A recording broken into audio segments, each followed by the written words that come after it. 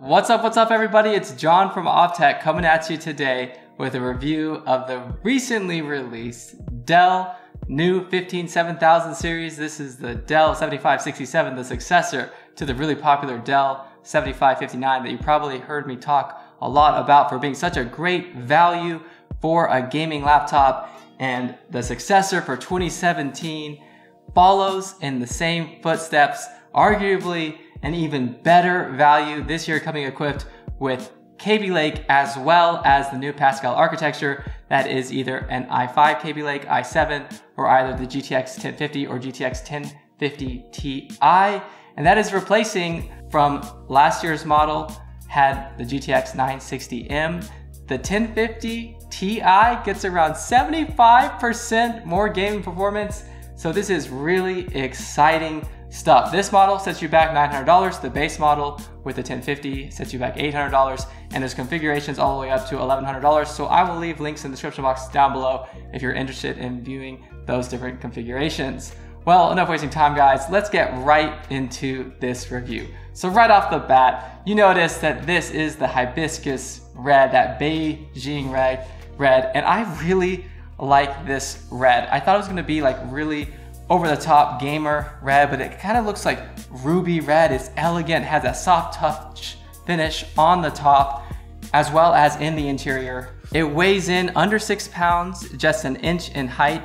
It is mostly a plastic build, but overall the build is really nice. There's hardly any flex to the display and the keyboard. It feels almost as if it has sturdiness and rigidity like it had a metal frame. So job well done here. The edges are angled for a more aggressive aesthetic and it has an aggressive grille in the front as well as the back so I really like that aesthetic update. The lid opens easily with one hand. There's an updated hinge mechanism that's now in the center. It reminds me so much of the Lenovo Y700 I reviewed last year. It gets points for looking cooler, but actually it's a little too loose uh, for me since I can notice the screen shaking a little bit if I'm typing rather quickly. So the base of the laptop opens quite easily with just a single screw, making it very user-friendly to upgrades. And underneath the hood, a 256 gigabyte M.2 solid state drive with really fast sequential read and write speeds, and also room to add an additional SSD in that two and a half inch drive bay, and it has one 8GB sticks of DDR4 2400 MHz random access memory with room to add an additional stick supporting up to 32 gigabytes, and it has a 74 watt hour battery that's going to give you roughly an hour 30, hour 45 of gaming on battery, and around 6 hours for office productivity and web browsing. And the laptop comes equipped with two front-facing speakers behind those grills, a subwoofer, powered by Wave MaxxAudio that actually delivers some pretty impressive audio, more than sufficient for a gaming laptop, giving you a very immersive experience. So the keyboard is full size and has a red backlight, chiclet style, standard travel distance with the keys, and a nice little touch with the WASD keys having an outline in red around them. So what's really nice is the sturdiness of the keyboard. When pressing down on it, there's like hardly any, if at all, flex. Then the trackpad is also quite nice. It has a very subtle texture to it, and I really like how tactile it is to click. It's definitely easy to use with native Windows drivers for gestures. You notice it's a little off center. That might bother you since the edge of your left hand might accidentally touch it, but the drivers are good at recognizing this and not picking up those inputs. And I gotta say that left and right click has really nice feedback. That there's a really well-defined pressure point. So let's talk about that notorious display. So this is a TN panel a bit of a regression from the IPS panel that we saw last year. Although the brightness average is around the same, this is 221 nit. It's the color accuracy that really is subpar this year. And being a TN panel, you do lose out on the viewing angles of IPS. So horizontal is, I would say, mediocre, and vertical viewing angles, a little less than mediocre. It's no way a deal breaker for me. It's just odd to see such big improvements to the design, the hardware, and of course the gaming performance and then see a, slight step backwards for the display. But I've played a lot of games on it, edited video in Adobe Premiere, and honestly, it's definitely not bad. So about that gaming performance, if you remember the performance of the 970M, which pretty much is good for 60 frames per second in the majority of AAA titles, even the more demanding games, you know, really impressive. And the 1050 Ti edges out the 970M in most games performance-wise, so that's so impressive to see in a laptop that retails for just $900. So let me roll some benchmarks for you guys. And also be sure to subscribe to my channel, Awe of Tech, because I got a full video coming that's gonna focus exclusively on the gaming performance of the Dell 7567 with the GTX 1050 Ti. Let's roll those benchmarks.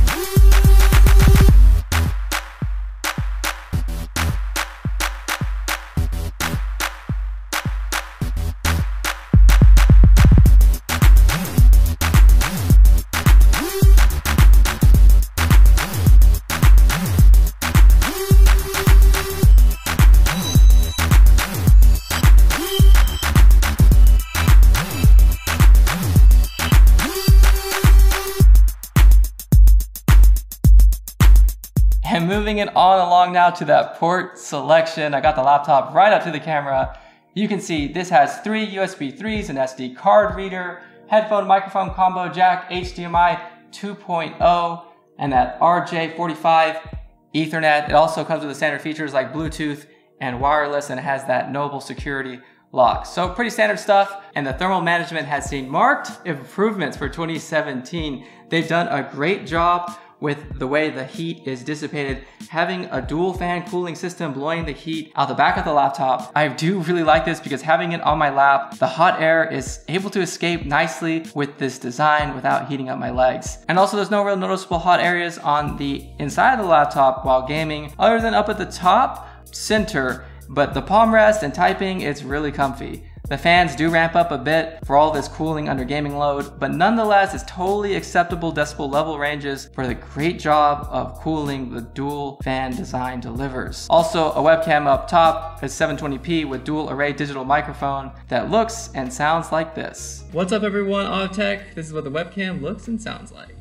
So let's recap guys, this 15.6 inch Dell 7567 laptop comes spread out of the gate with amazing hardware updates, a really nice redesign to the aesthetic and the cooling. So you get Kaby Lake, either the i5-7300HQ or the i7-7700HQ and either equipped with the GTX 1050 or GTX 1050 Ti NVIDIA Pascal graphics, which is giving a huge leap in performance from last year's Maxwell architecture within. Well, that's all I got for this video, guys. You let me know what you think of this laptop in the comment section down below. Is this new Dell 7000 series a worthy successor to last year's model that really was popular for all the right reasons. Well, you know what's up. Thumbs up if you like this video and if you're not subscribed to my channel, Awe of Tech, what are you waiting for guys? Please be sure to subscribe so I can give you guys some more tech content on the regular. Can't wait to catch you guys in the next one.